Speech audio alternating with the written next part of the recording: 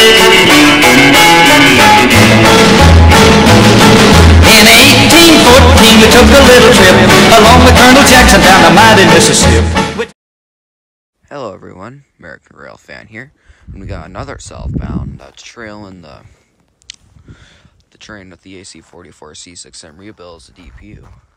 And I think this one is it's got to be the L564 because uh, they're always an afternoon train and they haven't came through yet. So it's about four o'clock, and this is the time they usually come through. Usually three o'clock, three thirty, but all right whatever this train is, let's get him here at milepost 377 at Lemington. Alright. Alright. Let's get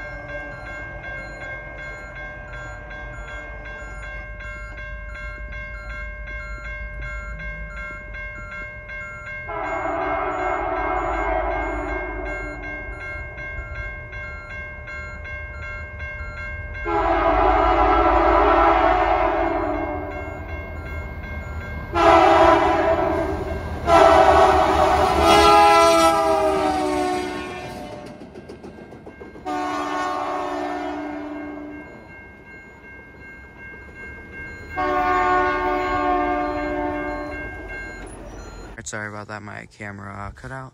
So, alright, that was the L564. Came around 4 o'clock. Here at milepost 377 at uh, Lemington, Wisconsin.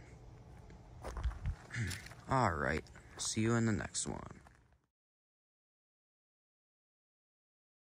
Okay, so here's what actually happened for that incident. So, I was getting ready to film the L564, which I did get, and then, uh, before the L564 actually comes, the uh, white truck comes across crossing. It goes down, goes down the road for about about like 500 feet, and then nope, they're gonna stop the truck. Then uh, then they throw it into reverse. They reverse back to where the crossing is, where I am. And they just then that's when the L564 is coming down the track, and that's when I'm getting ready to film. So I'm filming the the train. He sits there on reverse while the truck's going beep, beep, beep, that kind of thing. He sits there right, right behind me. He's doing this thing, trying to make me get in the truck, and then, uh, or cross the street or whatever. I was confused. Turned out I was actually, he actually wanted me to get in the truck. And, uh, and I refused, so I just continued filming the L564, and then, after successfully filming that, I crossed the street, then he's like, you're like, I was gonna offer you a ride. Then, yeah, whatever. Keep walking. He was all, he was all pissed off because um, I refused to get in the truck, and I was gonna fall for it anyway because I already have a four wheeler that I that I. That's how I got there anyway. I have a four wheeler, and uh, I'm not gonna be a victim victim of kidnapping. So, if I were to get in that truck, I probably probably will probably still wanna, yeah. So, it's a great thing I did not get in that truck, so. So, I think that was attempted kidnapping because he literally offered me a free ride. He literally looks like a 50 year old person. And, uh, yeah. So, yeah.